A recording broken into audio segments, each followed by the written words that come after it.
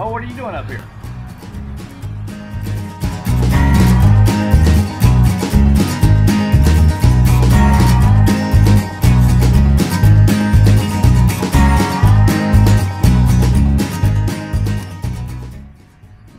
All right, I want to tell you a little bit about this solar install.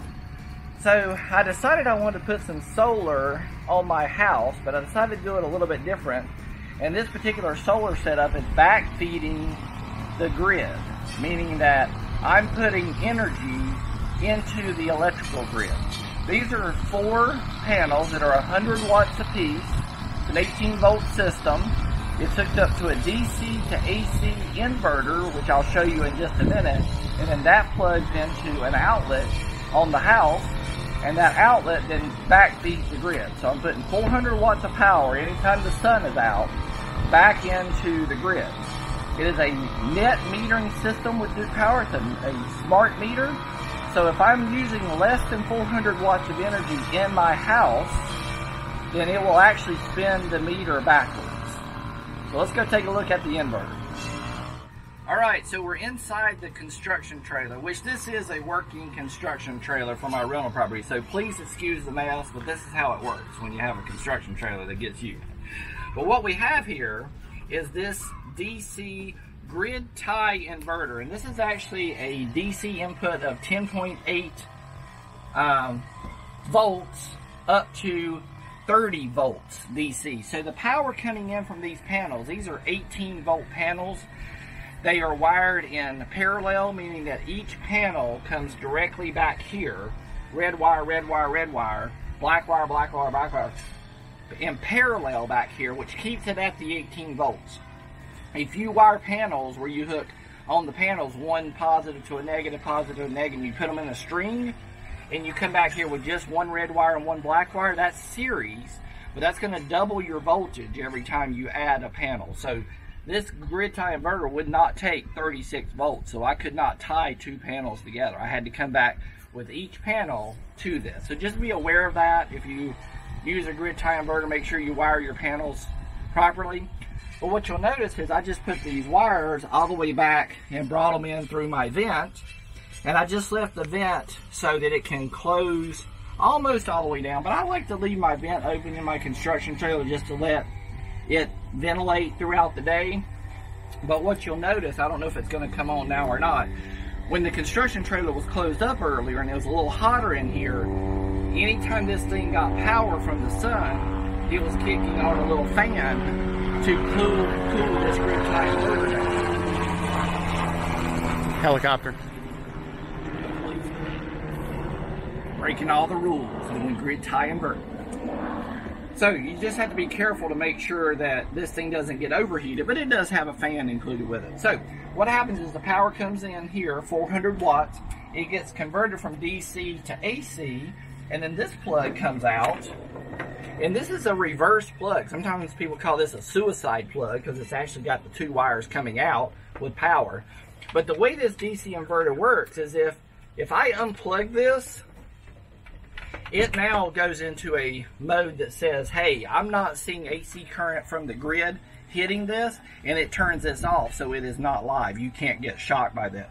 But as soon as I plug it back in, and now that is running back over to the house, it says, hey, I see power coming from the grid. I know that I can now send my 400 watts or whatever is being um, coming from the sun into the grid. So it makes it as a safety mechanism so that if the power goes out, you can't use this system at all, but it's helping protect the line workers so they don't get electrocuted.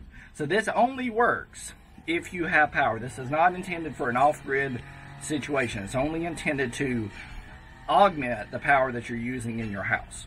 Let's go take a look at the smart meter. All right, we're sitting here in front of a smart meter. So let's take a look at what this smart meter actually does. You'll see the difference here that this meter is a digital readout and it's got this little thing right here. That's what actually allows them to read it from the street. This is a Duke Power meter. But usually this type of meter, the digital readout, is a smart meter, which means that it can tell if the power is coming in to the meter and going to the house or if it's coming from the house and going back to the grid. And right now you'll see that little thing on the left hand side that keeps flashing up and it's got an arrow that points to the right, that's saying that the power is coming from the grid going to the house. The AC system just popped on, so you see that actually start moving even quicker. And if you look down here at the bottom, you'll see that I'm coming from my grid tie inverter over with this cable, and I've just plugged into an outlet. Nothing special. This is the, the drop cord that was coming from that grid tie inverter, and it's just plugged into an outlet. And what we're going to show, I'm going to go turn some things off inside the house so we can get down to using less than 400 watts of power. And we'll see if we can make this meter turn backwards. All right, we're back outside at the net meter and we have turned off a few things in the house so we are consuming less than 400 watts of power just as a demonstration to show that you can actually make a net meter, digital meter run backwards. You now see that the line there is moving to the left and you see that arrow is pointing to the left. Before it was pointing to the right. So we are putting power back into the grid. All right, folks, just to wrap this up, I want to tell you a little bit about how net metering actually works. With Duke Power in North Carolina, uh, specifically, because different municipalities are different, so you need to check with your power company. Some power companies, you buy power at one rate, but if you're going to sell it back to the grid, you might be selling it at a different rate. So you sell it to them at a wholesale rate, um, so Duke Power's rate is 8 cents per kilowatt hour. So if you run a 1,000 watt appliance for one hour, it's going to cost you 8 cents, 8.7 cents to run that appliance. And if you are buying power, it's at 8 cents. And some municipalities, you then can sell power at a, a um, a wholesale rate, and that might be four cents. So you sell it at four, you buy it at eight.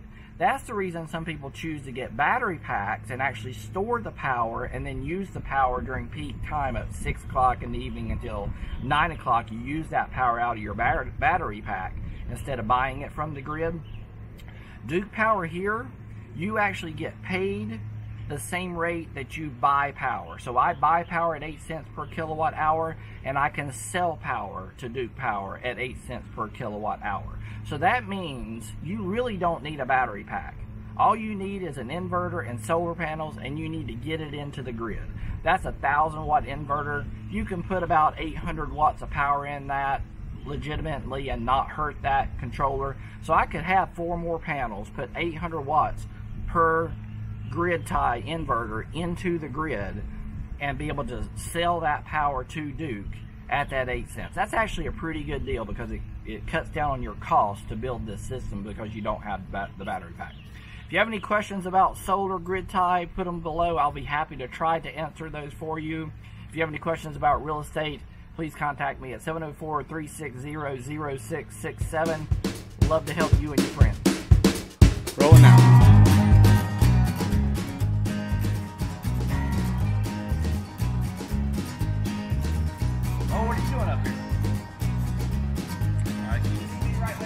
Nope. Nope. Pop.